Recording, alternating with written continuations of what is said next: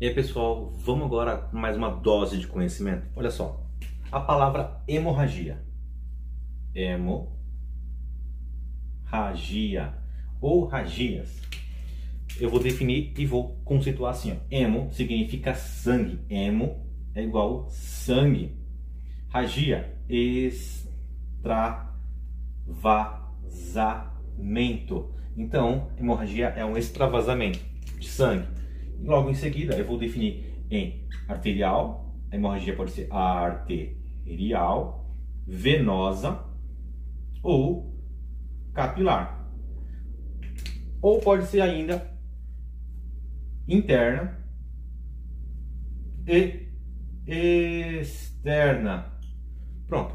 É isso aí. Um abraço, até mais.